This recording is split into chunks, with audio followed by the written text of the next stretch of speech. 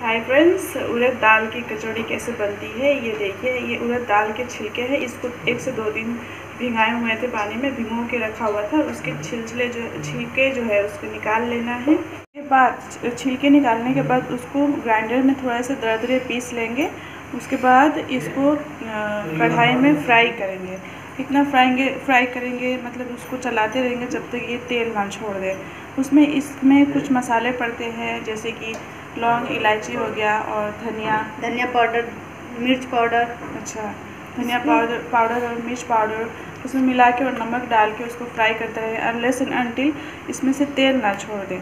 और उसके बाद इसको मैदे में मैदे को क्या क्या डालें अजवाइन और थोड़ा सा नमक। नमक और अजवाइन और तेल भी बनाएँगे रिफाइन तेल बना और इसको दो बना लेंगे।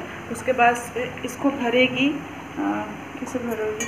इसको इसमें भरेंगे और फिर कुछ इस तरीके से इसमें फ्राई भी हो रहा है, देखिए साथ में।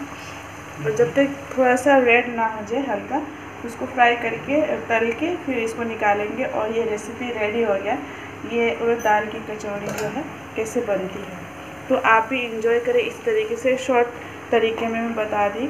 और अगले बार अगर अच्छे तरीके से वीडियो बनाऊँगी, अगर कचौड़ी बनती है तो मैं अच्छे तरीके से वीडियो बना के आप लोगों को ज़रूर दिखाऊँगी। तो आप लोग भी इंजॉय करिए गर्मा गर्म कचौड़ी।